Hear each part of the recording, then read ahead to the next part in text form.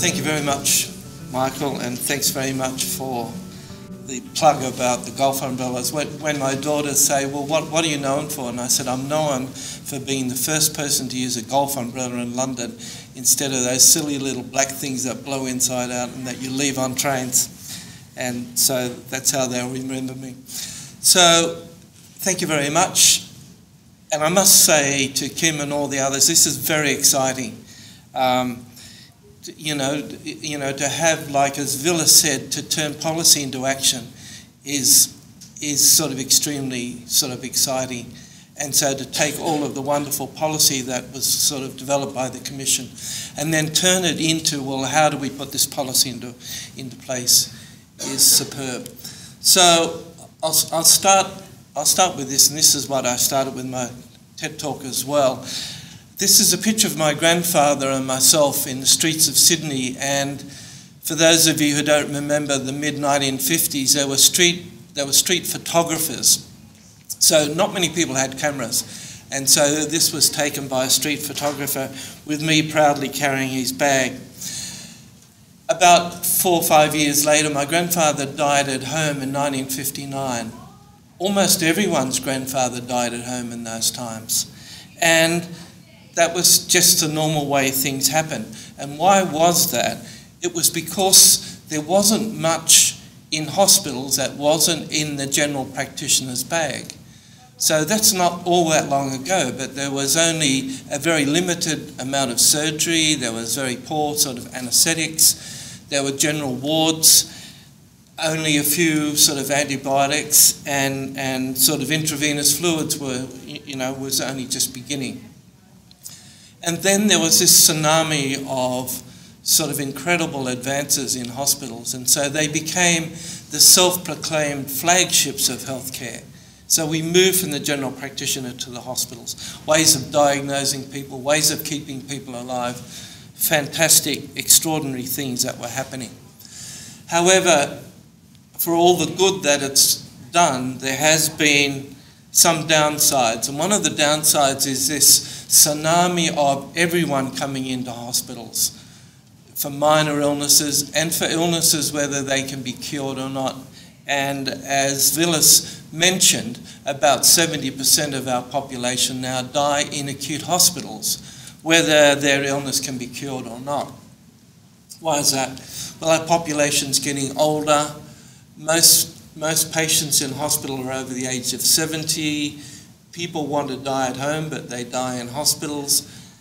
And so we have this sort of conveyor belt into the hospitals where if you get sick these days, there wouldn't be many of us who just watch someone with a serious illness. So you call an ambulance. The ambulance has no sort of discretionary power not in this country or very little. So they take you to the nearest emergency department, and the emergency department is into packaging because there's pressures on them to push the patient out of ED, and it's much easier for them to admit the patient to the general ward than it is to do all the complex ringing around in order to send them back home again.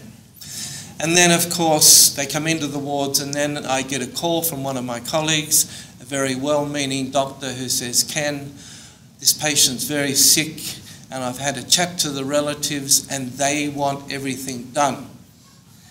And they're words that send horror into anyone who works in intensive care because it then makes us very difficult, you know, makes the whole situation very difficult for us because now the patients and the carers have got the expectation now they're coming into intensive care and their life is going to be saved. Whether they're 95 with dementia and multi organ problems, it doesn't matter. So I guess that gets back to Kim's work here in that if we can educate nurses and doctors to have more honest discussions with patients, then we wouldn't be getting so many of these calls um, sort of asking for further and more incremental care. So it's not surprising that dying's become medicalised and choices have gradually, incrementally been taken off people. And it hasn't been a conspiracy, it's just happened because we can do things, we do do things. Some of the drivers are dying frightening, sometimes there's a lack of community support. For as much as we say that coming into hospital is not such a good thing, there has to be a rapid way of transporting patients to the community and, and providing equal, if not better, care, a different sort of care.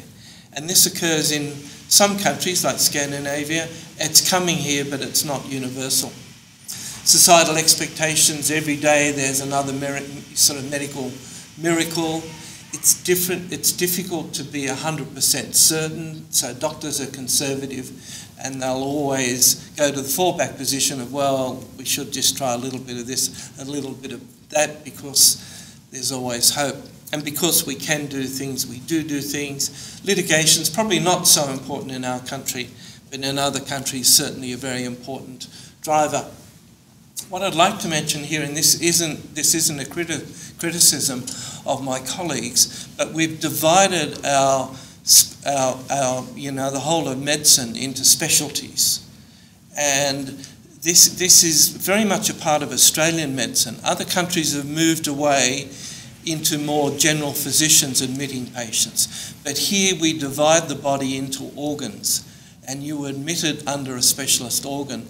Now, when you're 85 years of age, with some renal failure, some liver failure, a little bit of dementia, cardiovascular failure, previous TIA, strokes, high cholesterol, etc. It's very difficult to know which organ that person belongs to. And so I'm sure those of you who work in clinical practice see this all the time of which one will it be comes under the heart. The heart complains that the problem was in the lung, and the and you know the heart's only secondary to the problem, etc. And so that that's a big problem. And also, these are very well-meaning doctors who aren't necessarily comfortable with talking about death. And that's why what you're doing is extremely important because most of us come through a system where we're taught about making people better that's the job of doctors. And there's only one lecture in the whole six years in my university course, apart from palliative care, which talks about death and dying. The rest is about making the diagnosis and making you better. It's not surprising for many of you to know that dying is not recognised in acute hospitals we actually set up this rapid response system, which is in most hospitals in Australia. A large study that we've done with Canada and the UK and Australia has found that one third of all of these calls are for people at the end of life. So that's more than 150,000 calls per year in my state alone. So this, this system, which was meant to save people's lives, has turned into the surrogate dying system. People are not recognised as dying in our hospitals, which is extraordinary.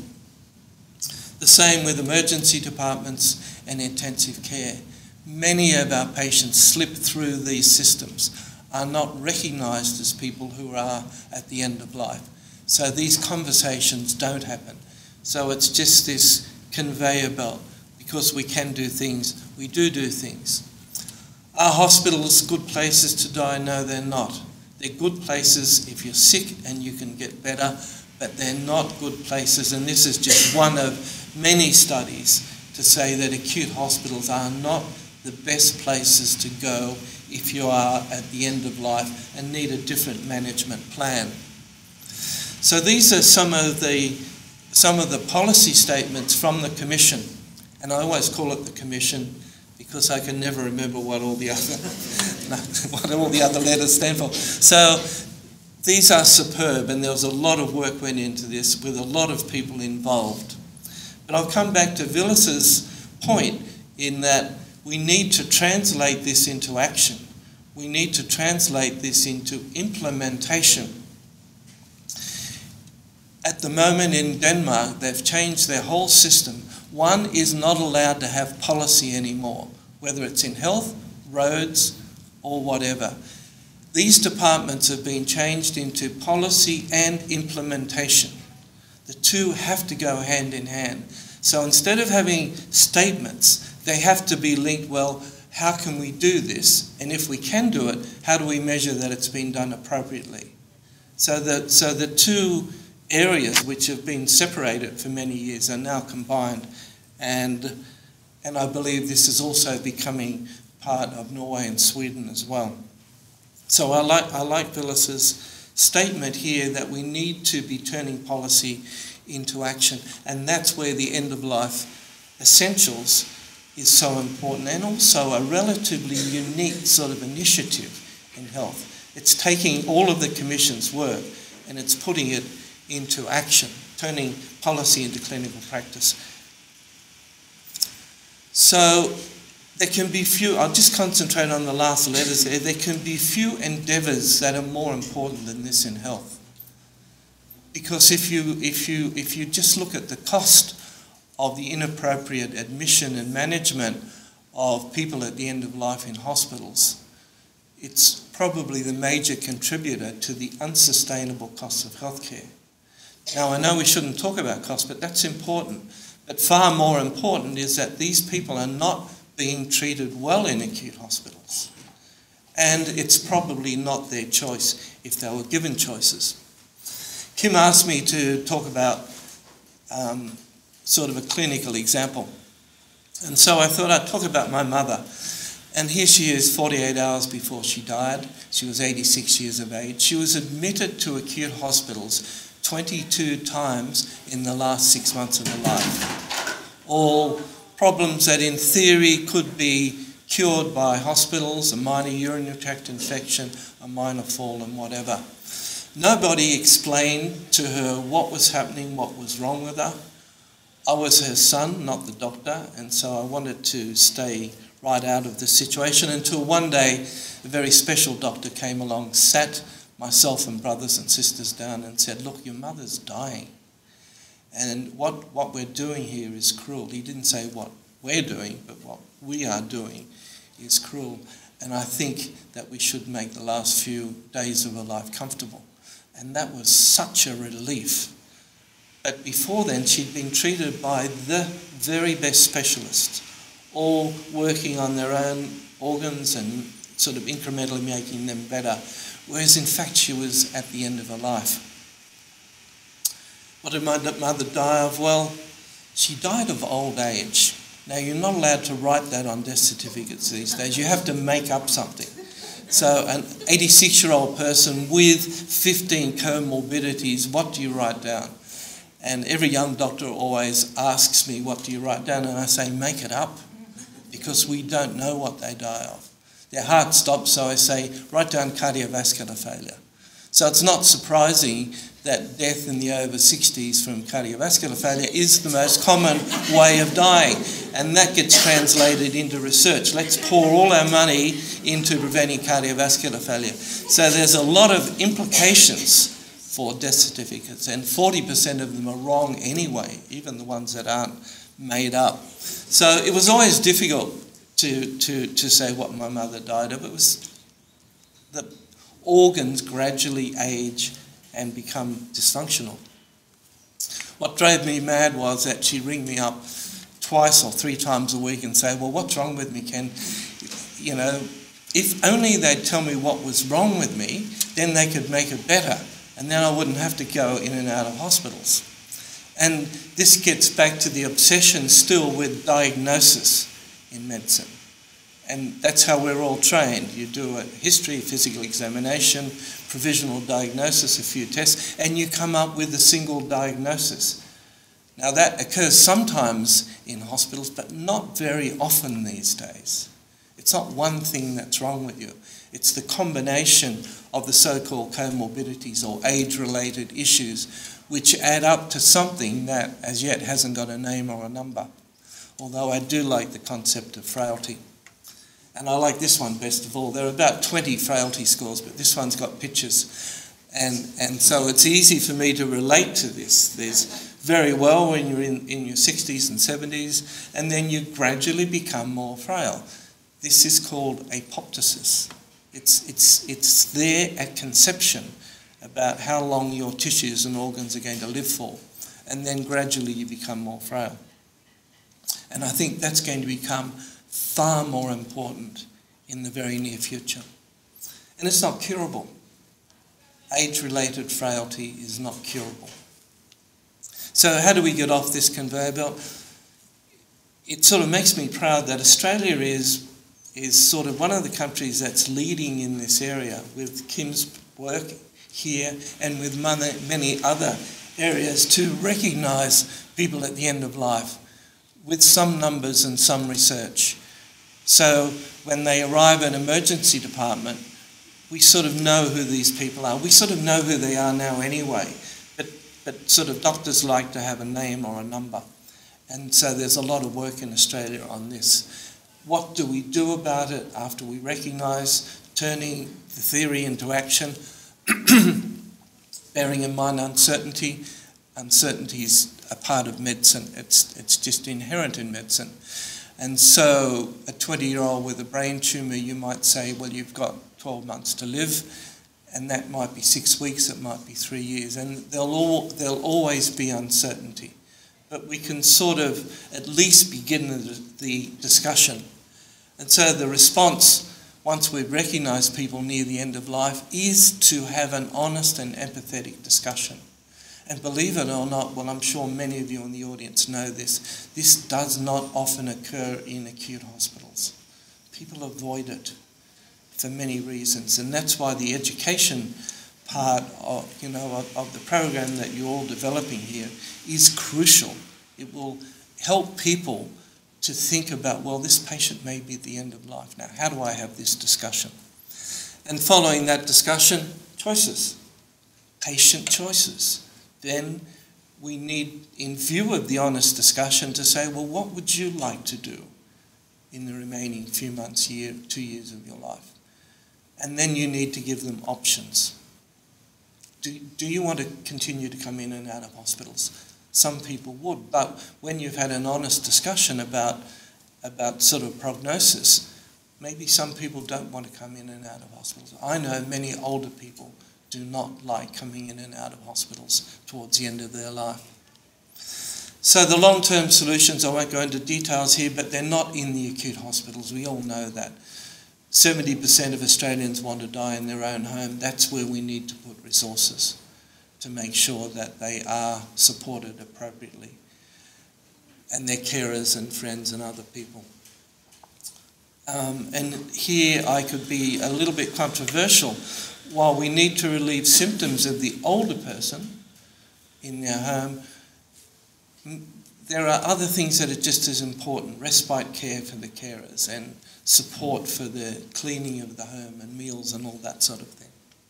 So, medicalisation of dying, this is like the medicalisation of birthing in the 50s and 60s. And I was at the end of this era where women having babies were sent to hospital, strung up, lithotomy, baby taken away, baby put with all the other babies.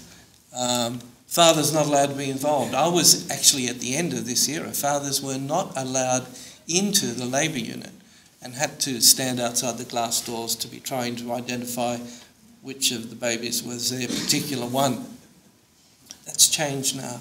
And so we, and, and that's changed because we've empowered people, we've empowered our society, we've been honest with our society about end of life.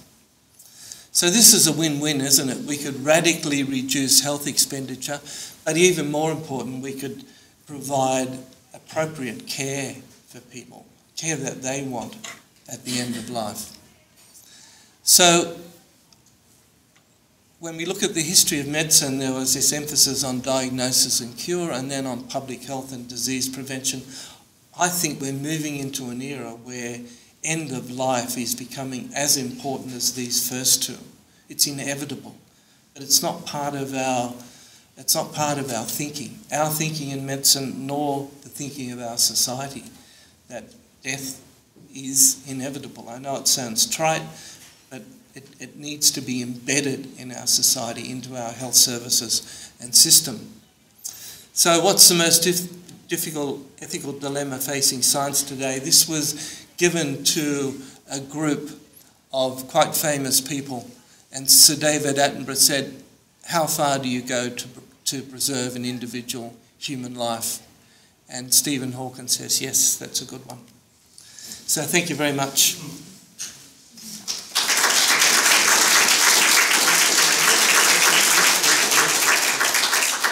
Sorry, I meant, I meant, I meant to open it as well. I've got no idea how you open something.